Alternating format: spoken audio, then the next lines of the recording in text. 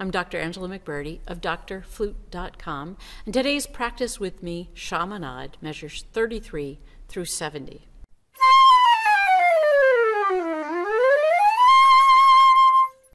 I've lumped all of this together, so I'm not, I did two 15 measures at the beginning, and now I'm putting a bigger section together because it's very similar um, in what you need to work on.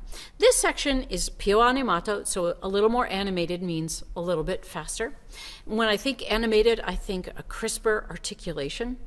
Do more with my dynamics so that if it says soft, I really get soft. If I need to get louder, I'm crescendoing and um, that there's more uh, zip and style in this part here. So the opening is just all this lugubrious sounds. It just flows from one to the another. Even with the runs, it doesn't sound hurried. It's just beautiful. The runs um, show off the melody more. And now we get to be a little bit more mysterious and sneaky and perky. You get to be all these different characters. So when you start here, you're starting Piu Animato. You want to get a little darker in color.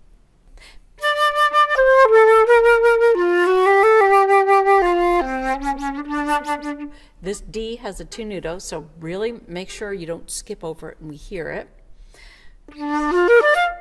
Now, what I like to think here is that I spring off that dee da da da dum ta, and I jump into the accented B uh, B flat there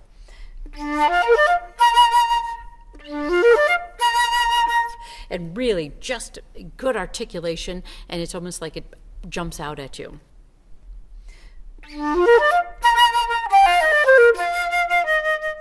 Now, come in a little bit, just a little bit softer than that.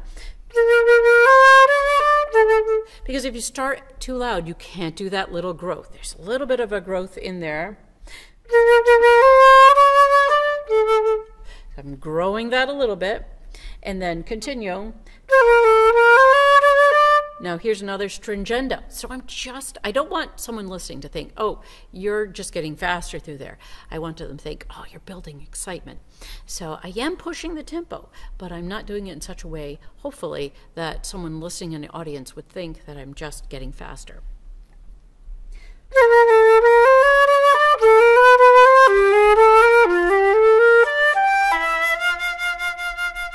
And that's where I would stop getting faster. Now I'm just going to hold.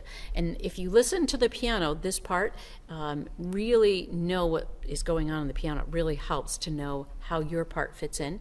Here, I'm just not going to be too soft because if I was with the piano, it wouldn't be heard. It's in the low register.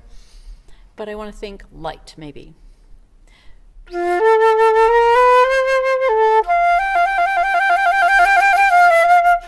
Make sure you don't take your breath until after you do that little grace note. And then you've crescendoed.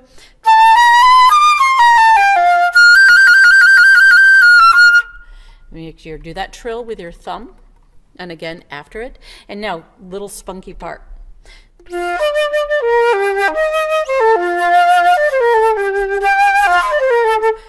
And that's fun because you start off simple, you get to add a little bit more, then you add a little bit more, and then you're up to that high E flat. Here, you're getting spunky as you're building through this little section. A little bit more.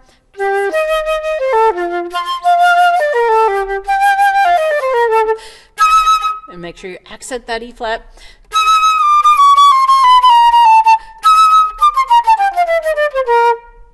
You're coming down, but I'm really not going to worry about that diminuendo. I'm just going to let the notes take me down without me even thinking diminuendo.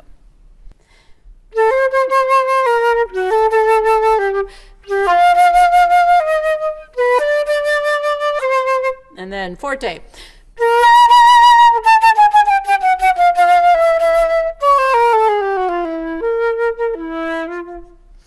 So you're going from your eighth notes to 16th notes to the triplet 16th notes, and then you're backing off softly.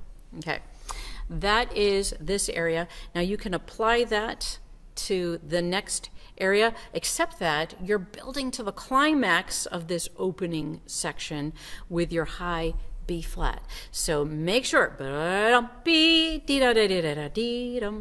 that you're bringing it up to that climax, that that's the biggest part of your whole piece. Then you come back down a little bit, you have a stringendo, and you get prepared for what's about to come the vivo. That's today's practice with me. Have fun working on that in measures 33 through 70. If you like this video, press the like button, subscribe, share it with your friends, and comment below.